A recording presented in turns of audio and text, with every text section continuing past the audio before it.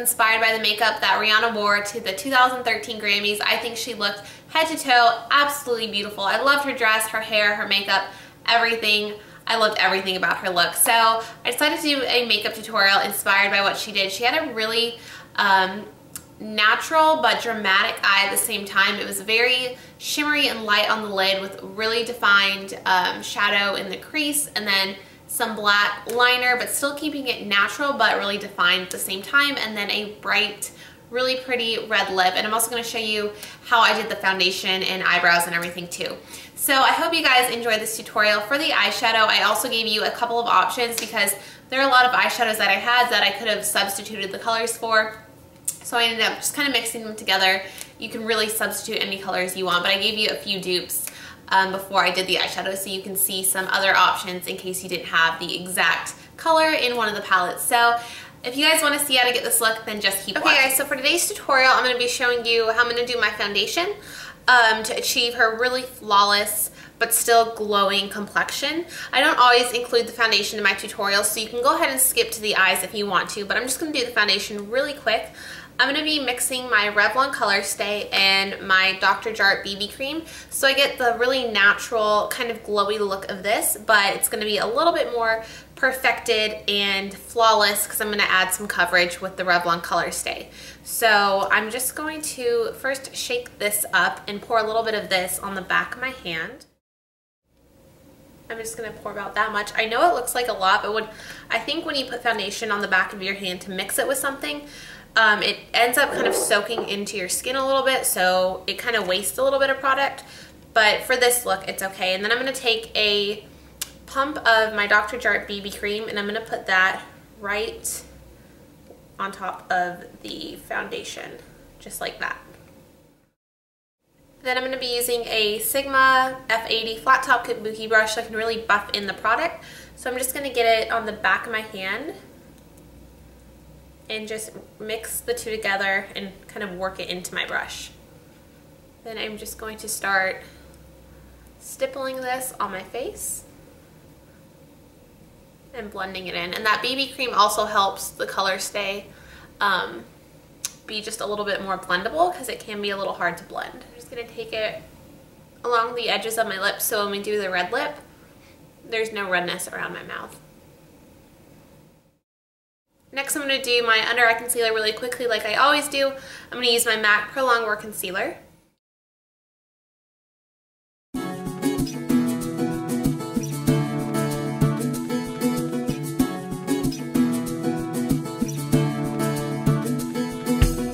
then I'm just going to set my under eyes with my Makeup Forever Translucent Powder.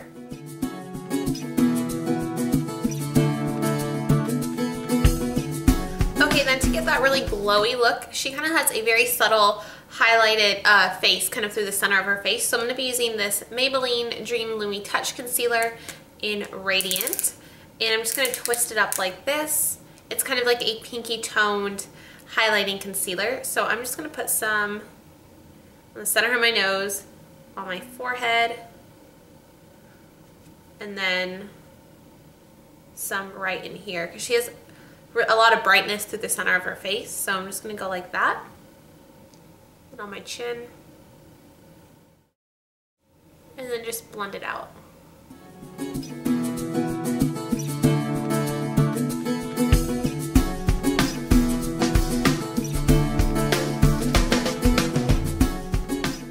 Okay, then I'm just going to set the center of my face. I want to keep it very glowy, but I don't want to look shiny, so and I want the foundation to last. So I'm going to be using a little bit of my Rimmel Stay Matte Pressed Powder.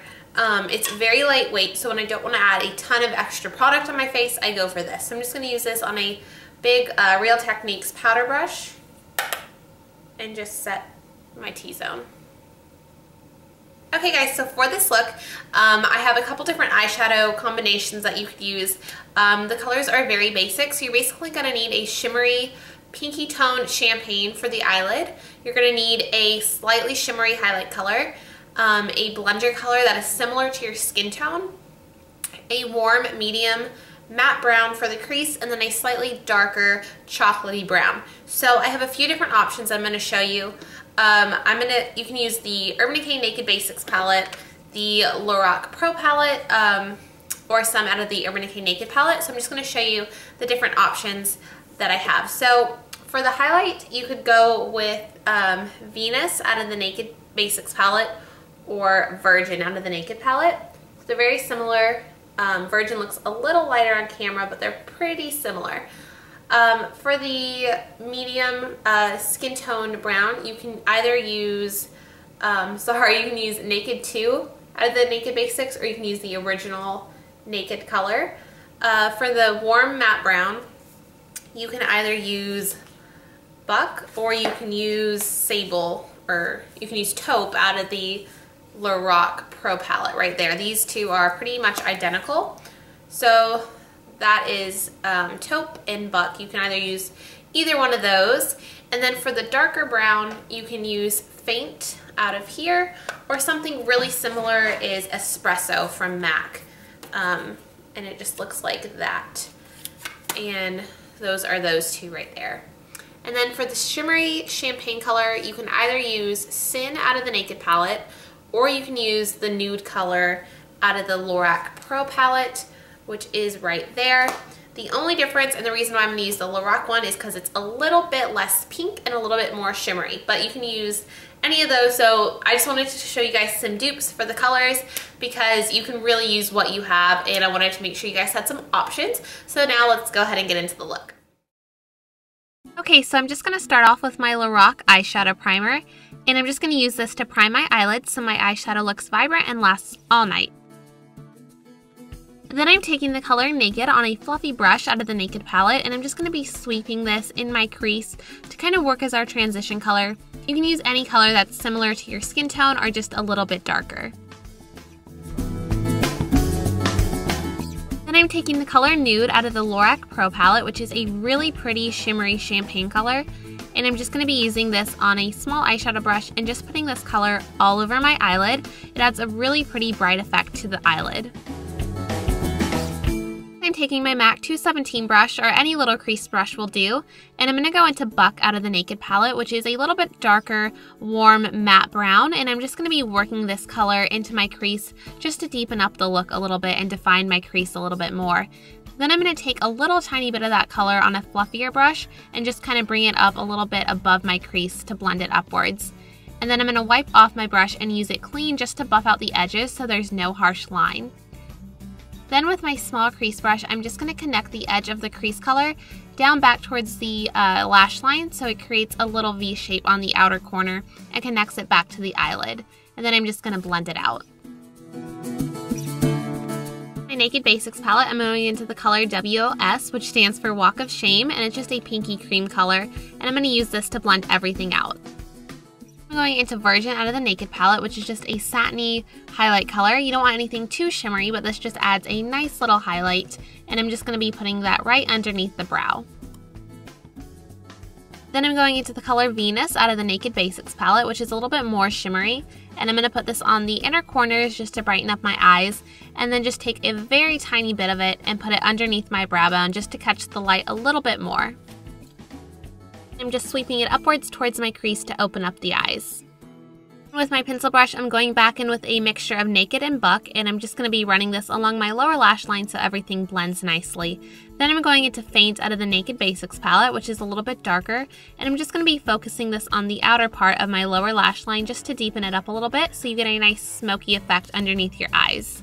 And I'm going back into Naked just to blend it out a little bit more so it's not too harsh.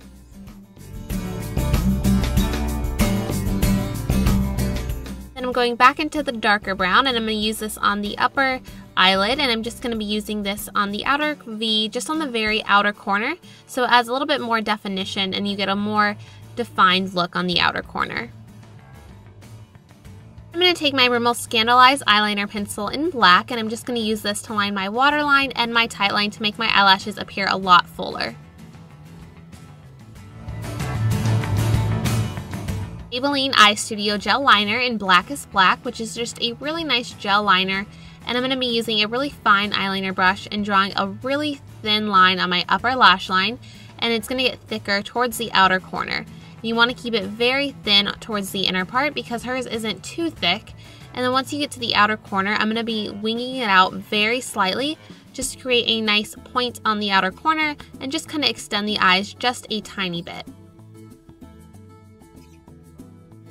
Then I'm going to add a quick coat of mascara before I put on my false lashes. So I'm going to take a little bit of Duo Eyelash Adhesive and I'm going to be applying a few individual eyelashes to create a really natural but full looking eyelash effect. So I'm applying a few longer ones on the outer corner and then a few shorter ones on the rest of my lash line.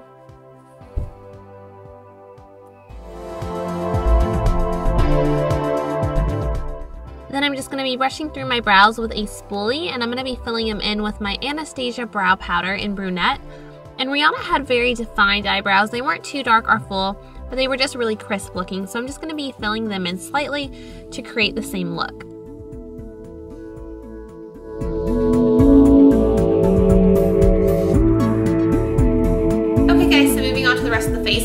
Start off with a little bit of a natural looking bronzer. I'm going to be using the NYC um, Sunny Bronzer. And this is a very light color and it's a very warm, light bronzer. Her um, bronzer looks very natural if she's wearing any. So I'm just going to take that on a kind of smaller brush, on a blush brush. And I'm just going to lightly run this underneath my cheekbone.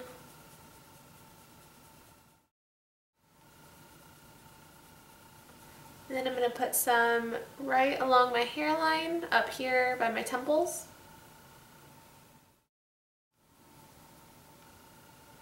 Okay, then for blush, she doesn't really look like she's wearing a lot on her cheeks. Um, it's a very subtle color if she is wearing anything, so it may be a little bit peachy. Um, I'm going to be using the NYX blush in Peach. It's a really light peach, peachy pink color, um, and I'm just going to take a tiny bit of that and kind of keep it kind of higher um, and a little bit further back on my cheeks because you don't really want to look like you're blushing. She doesn't really have a whole lot of blush. This will just add a nice kind of peachy glow and add a little bit of color back to my face. Okay, then for the last step, which is a highlighter, and I think this is the most key part of her um, kind of cheek look. So I'm going to be using this Lorac perfectly lit powder in Spotlight. It looks like that and it's just a really pretty highlight. I don't know how to explain it. It's like a skin tone color. It really does just kind of look like you're in perfect lighting and that's what her skin looks like. It just looks like it's glowing but it doesn't look shimmery. Um, it just looks very brightened and very beautiful. So I'm going to be using this on a little highlighter brush and I'm just going to start with this on my cheekbones. So I'm just going to put it right up here. I'm going to take a little bit on that brush and brush it down the center of my nose and on my forehead just to brighten that area up a little bit more, like where we put that highlighting concealer earlier. And then a tiny, tiny bit right on my cupid's bow. Okay, so for the lips, she's wearing a really bright red lipstick and it kind of has a warmer, orangier undertone. It's not like a coral or anything. It's just a really bright poppy red with a little bit of an orange undertone. So I'm going to start off with a lip liner just so I can get a really clean, precise line. I'm going to be using this Jordana Easy Liner for lips in the color Sedona Red. These are only like $1.99 at Walgreens and they're really good lip liners. So it just twists up like that. And I'm just going to put this around the edges of my lips and fill them in slightly.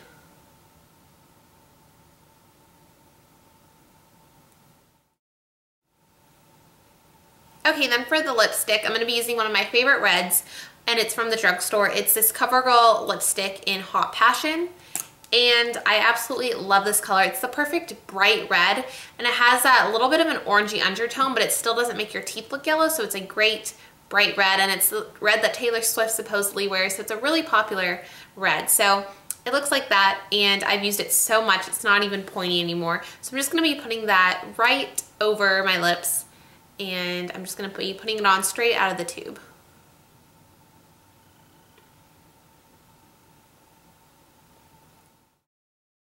And then I'm just going to blend it in a little bit with a lip brush. And then I'm just going to take a tissue and blot off my lips. That'll just get rid of any excess shine. And then lastly, I'm going to be applying one more layer of lipstick. And I know this may seem excessive, like doing the lip liner, the lipstick, the lip brush, the blotting, but it just helps your lipstick last longer when you layer it and like blot off a layer and put another layer on. You don't have to do that if you don't want your lipstick to last, but it does help your lipstick to last a lot longer and I think it just looks um, better. It just sits on your lips better if you put it on in layers. So I'm gonna apply one more layer of lipstick and then the lips will be done. Okay guys, so here is the finished look. I hope you enjoyed this tutorial. I absolutely love this look. I think it is so perfect and glamorous and classic, but a little bit different with the eyes and the red lips. I absolutely love it. Uh, for my hair, I just curled it like normal with a regular curling iron. I just wrapped it around um, in kind of medium-sized sections, and then to make it more messy and piecey like she had it, I really just scrunched it up, shook my hair around, um, pieced a few pieces apart, just kind of pulled them apart like that, hairsprayed it and scrunched it up. It's really, really easy. But I hope you guys enjoyed this tutorial. Don't forget to give it a thumbs up if you liked it and subscribe. Give this video a thumbs up. And yeah, follow me on Twitter and Instagram. I'll leave all those links down below. And I'll also give you a 10% coupon code for Sigma brushes. Uh, the link will be in the down bar. So I hope you guys enjoyed this and I will see you in the next video. Bye.